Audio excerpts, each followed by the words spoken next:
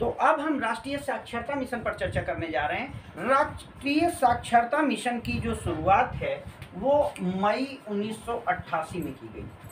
मई 1988 में की गई। और इसके तहत 15 से 35 वर्ष के सभी नागरिकों को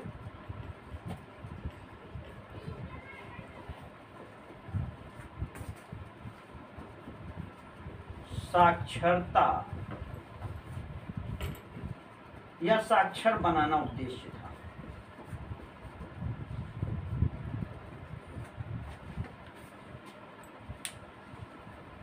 ठीक है ना? और इसके लिए जो एक सॉन्ग आया था, जो इसमें प्रोग्रामिंग आप डालेंगे, वो डालेंगे, शिक्षा है अनमोल रतन, पढ़ने का सब करो जतन। ये एनएलएम का टैग लाइन था क्योंकि मुझे याद है उस समय जब ये आया था तो वीडियो हम देखा करते थे। शिक्षा है अनमोल रतन। शिक्षा पढ़ने का सब करो जतन। पढ़ने का सब करो जतन।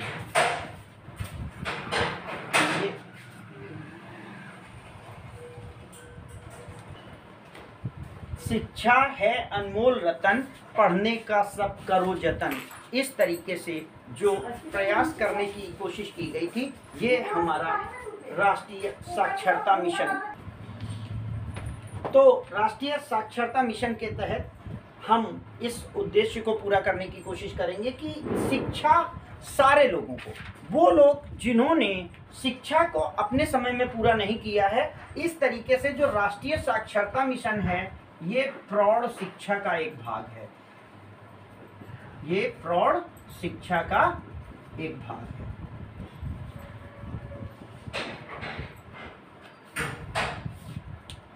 ठीक है? और प्रौढ़ शिक्षा के इस भाग के उद्देश्य जो हैं, वो क्या हैं? इसका उद्देश्य कैसे पूरा किया जाएगा? इनको क्या मतलब आवश्यक तत्व तो कह सकते हो या आवश्यक हाँ आवश्यक तत्व ही लिखे हैं इसके कि एनएलएम के तहत हम किन चीज़ों पर टारगेट करेंगे।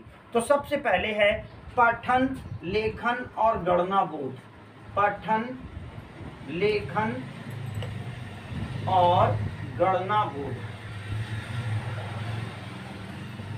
कोई व्यक्ति जो अब 16, 17, 18 साल का है उसको कैरियर बनाने के लिए नहीं पढ़ना है बट वो कम से कम पैसे गिन ले। कम से कम वो निर्देशों को तो पढ़ ले। यहाँ शांत रहें। अगर लिखा है तो उसे कम से कम इतना पता हो कि यहाँ शांत रहना है। इतना उसे साक्षर बनाने की कोशिश करनी है। और दूसरी चीज़ है, राष्ट्रीय एकता और पर्यावरण संरक्षण। राष्ट्रीय एकता और पर्यावरण संरक्षण। ये दूसरा टॉपिक हो गया। बट लोगों को जब पढ़ा दिया जाएगा तो आपको ये बात समझ में आएगी कि क्या उद्देश्य पूरे करने हैं और कैसे क्या करना है। तीसरा है नारी शिक्षा। खासकर महिलाएँ उपक्षि- उपेक्षित हो जाती हैं, उनकी पढ़ाई नहीं पूरी हो पाती है।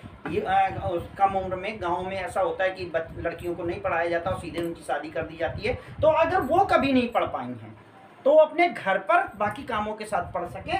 तो नारी शिक्षा को हम पूरी तरीके से कंप्लीट करते हुए, और एक और चीज़ का उद्देश्य है, नारी शिक्षा और सीमित परिवार का महत्व। उसे पढ़ा करके ये बताने की ज़रूरत है कि परिवार बड़ा सीमित रखो अदरवाइज़ आप जैसे ज़िंदगी जिए हो, वैसे ही आपके बच्चों की भी प्रॉब्लम बन सकती है।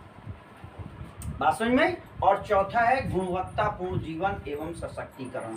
अब जब बच्चों को व्यक्तियों को शिक्षा दे दी जाएगी तो गुणवत्तापूर्ण उनका जीवन हो जाएगा और सशक्तिकरण हो जाएगा उनका जीवन उनका अच्छा हो जाएगा। इन चार उद्देश्यों को पाने के लिए हमारा N L N L M लागू किया गया।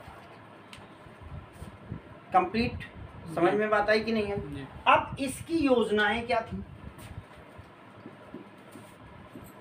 इसकी योजना। तो इसमें जो पहली योजना थी, वो थी संपूर्ण साक्षरता अभियान। संपूर्ण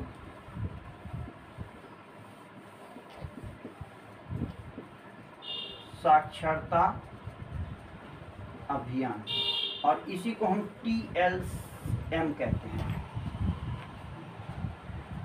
और टी एल एम मिशन कह सकते हो या कहीं पर आपने इसको देखा होगा तो टी एल सी भी कहते हैं लोग कैंपेन के तौर पर। आप इसको टी एल सी नोट कर कैंपेन टोटल लिटरेसी कैंपेन इसका मतलब क्या था?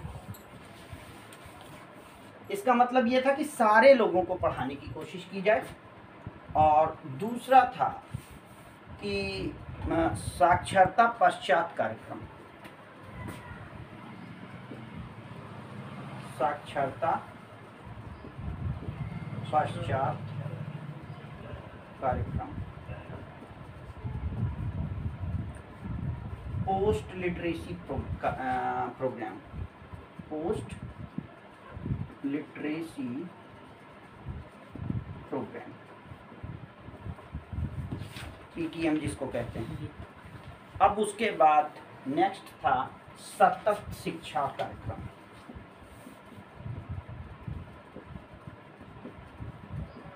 सतत शिक्षा कार्यक्रम। एक दिन ही केवल उसे पढ़ा करके काम खत्म ना किया जाए। कॉन्टिन्यूस कॉन्टिन्यूसली उसे कार्यक्रम पे रखा जाए तो इसको कॉन्टिन्यूस एजुकेशन प्रोग्राम के नाम से जाना गया। बात समझ में आई कि नहीं है अब इसकी विशेषताएँ या इसके महत्व कि इस प्रोग्राम के चलने से हमें क्या क्या चीज़ें मिली? ठीक है ना? तो उसमें आप इसका महत्व तो लिख लीजिए सीधे सीधे कि एनएलएम का क्या महत्व था? और एनएलएम से हमें क्या चीज़ें उपलब्ध हो पाएँगी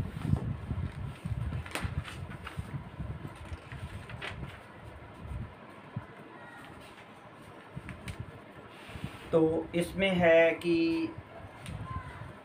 व्यक्तिगत शिक्षा कार्यक्रम रहा ये।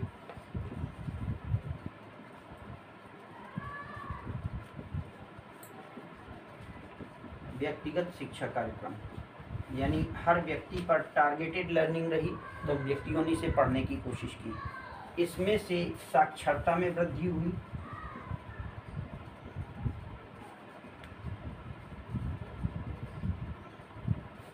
तीसरा है उत्पादकता में वृद्धि।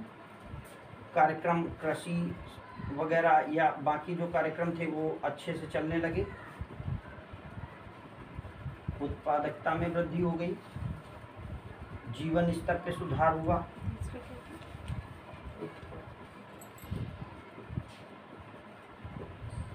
जीवन स्तर में सुधार। कलात्मक रुचियों का विकास।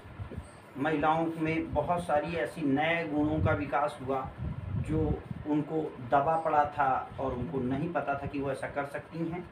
जैसे किसी की कढ़ाई, बुनाई, कुछ बनाना, कुछ विकसित करना, वो सारी चीज़ें क्लियर हो गई और व्यवसायिक कुशलता में वृद्धि हो गई। नए नए रोज़गार लोगों को मिलने शुरू हो गए।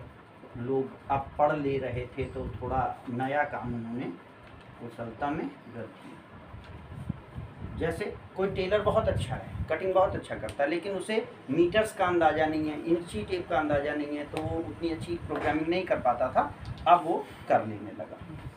तो इस तरीके से एनएलएम की जो नीतियाँ थीं, वो सारी सारी यहाँ पर आ जाती हैं।